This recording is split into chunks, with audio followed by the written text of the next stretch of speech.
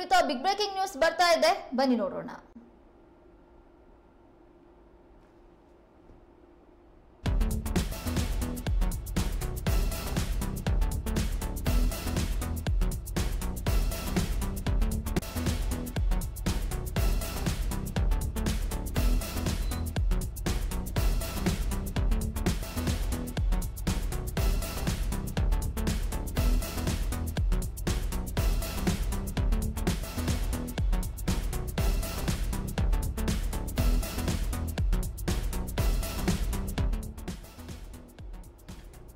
POCSO ಪ್ರಕರಣದ ವಿಚಾರಣೆ ಎದುರಿಸ್ತಾ ಇರುವ ಮಾಜಿ ಸಿಎಂ ಬಿಎಸ್ ಯಡಿಯೂರಪ್ಪನವರಿಗೆ ಕರ್ನಾಟಕ ಹೈಕೋರ್ಟ್ ಹಾಜರಾತಿಯಿಂದ ವಿನಾಯಿತಿ ನೀಡಿದೆ.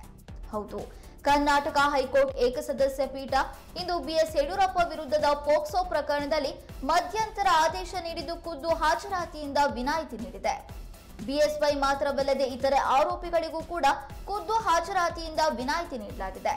ಆರೋಪಿಗಳ ಬದಲಿಗೆ ವಕೀಲರು ಹಾಜರಾಗಿ ಹಾಜರಾಗಿ ವಿನಾಯಿತಿ ಕೋರಲು ಅವಕಾಶ ನೀಡಲಾಗಿದೆ. ಜುಲೈ ಹದಿನೈದರಂದು ಖುದ್ದಾಗಿ ಹಾಜರಾಗುವಂತೆ ಬಿಎಸ್ವೈಗೆ ಬೆಂಗಳೂರಿನ ಒಂದನೇ ತ್ವರಿತಗತಿ ನ್ಯಾಯಾಲಯ ಸಮನ್ಸ್ ಜಾರಿ ಮಾಡಿತ್ತು. ಆದರೆ ಖುದ್ದು ಹಾಜರಾಗಿ ಹೈಕೋರ್ಟ್ ವಿನಾಯಿತಿ ನೀಡಿದೆ. ಪೋಕ್ಸೋ ಪ್ರಕರಣಕ್ಕೆ ಸಂಬಂಧಪಟ್ಟಂತೆ ಜೂನ್ ಇಪ್ಪತ್ತೇಳರಂದು ಸಿಐಡಿ ಅಧಿಕಾರಿಗಳು ಚಾರ್ಜ್ ಶೀಟ್ ಸಲ್ಲಿಸಿದ್ರು. ಎಪ್ಪತ್ತೈದು ಸಾಕ್ಷಿಗಳ ಹೇಳಿಕೆ ಸೇರಿದಂತೆ ಏಳ್ನೂರ ಐವತ್ತು ಪುಟಗಳ ದೋಷಾರೋಪ ಪಟ್ಟಿ ಸಲ್ಲಿಕೆ ಮಾಡಲಾಗಿದ್ದು, ಬಿಎಸ್ ಯಡಿಯೂರಪ್ಪ ವಿರುದ್ಧ ಪೋಕ್ಸೋ ಕಾಯ್ದೆ ಸೆಕ್ಷನ್ ಎಂಟು, ಐಪಿಸಿ ಸೆಕ್ಷನ್ಗಳಾದ ಮುನ್ನೂರ ಐವತ್ನಾಲ್ಕು ಎ ಇನ್ನೂರ ನಾಲ್ಕು ಇನ್ನೂರ ಹದಿನಾಲ್ಕು ಅಡಿ, ಎರಡನೇ ಆರೋಪಿ ಅರುಣ್ ಎಂವೈ, ಮೂರನೇ ಆರೋಪಿ ಎಂ ರುದ್ರೇಶ್ ಮತ್ತು ನಾಲ್ಕನೇ ಆರೋಪಿ ಜಿ ಮರಿಸ್ವಾಮಿ ಅವರ ವಿರುದ್ಧ ಐಪಿಸಿ ಸೆಕ್ಷನ್ಗಳಾದ ಇನ್ನೂರ ನಾಲ್ಕು ಇನ್ನೂರ ಹದಿನಾಲ್ಕರ ಅಡಿ ಆರೋಪ ಪಟ್ಟಿ ಸಲ್ಲಿಕೆ ಮಾಡಲಾಗಿತ್ತು. ಇದೇ ವೇಳೆ ಪೋಕ್ಸೋ ಪ್ರಕರಣ ರದ್ದು ಕೋರಿ ಮಾಜಿ ಸಿಎಂ ಬಿಎಸ್ ಯಡಿಯೂರಪ್ಪನವರು ಸಲ್ಲಿಸಿದ್ದ ಅರ್ಜಿ ವಿಚಾರಣೆಯನ್ನ ಜುಲೈ ಇಪ್ಪತ್ತಾರಕ್ಕೆ ನಡೆಸಲು ಹೈಕೋರ್ಟ್ ದಿನಾಂಕ ನಿಗದಿಪಡಿಸಿದೆ. ಅಲ್ಲಿಯವರೆಗೆ ಪ್ರಕರಣದಲ್ಲಿ ಖುದ್ದು ಹಾಜರಾಗಿ ಮಾಜಿ ಸಿಎಂಗೆ ಕೋರ್ಟ್ ವಿನಾಯಿತಿ ನೀಡಿದೆ.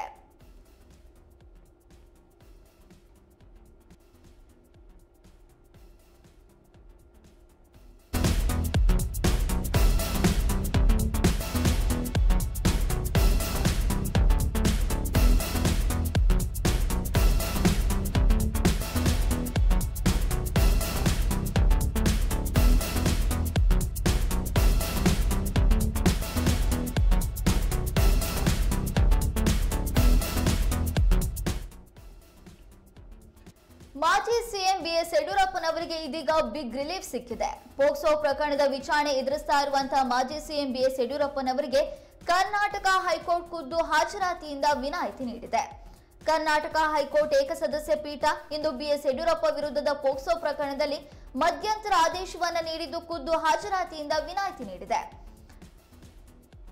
ಇದು ಅಲ್ಲದೆ ಬಿಎಸ್ವೈ ಜೊತೆಗೆ ಇತರೆ ಆರೋಪಿಗಳಿಗೂ ಕೂಡ ಖುದ್ದು ಹಾಜರಾತಿಯಿಂದ ವಿನಾಯಿತಿಯನ್ನು ನೀಡಲಾಗಿದೆ. ಆರೋಪಿಗಳ ಬದಲಿಗೆ ವಕೀಲರು ಹಾಜರಾಗಿ ವಿನಾಯಿತಿ ಕೋರುವುದಕ್ಕೆ ಅವಕಾಶವನ್ನು ನೀಡಲಾಗಿದೆ.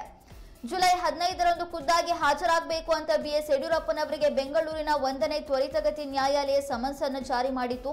ಆದರೆ ಖುದ್ದು ಹೈಕೋರ್ಟ್ ಇದೀಗ ವಿನಾಯಿತಿಯನ್ನು ನೀಡಿರೋದ್ರಿಂದ ಮಾಜಿ ಸಿಎಂ ಬಿಎಸ್ ಯಡಿಯೂರಪ್ಪನವರಿಗೆ ಬಿಗ್ ರಿಲೀಫ್ ಸಿಕ್ಕಂತಾಗಿದೆ.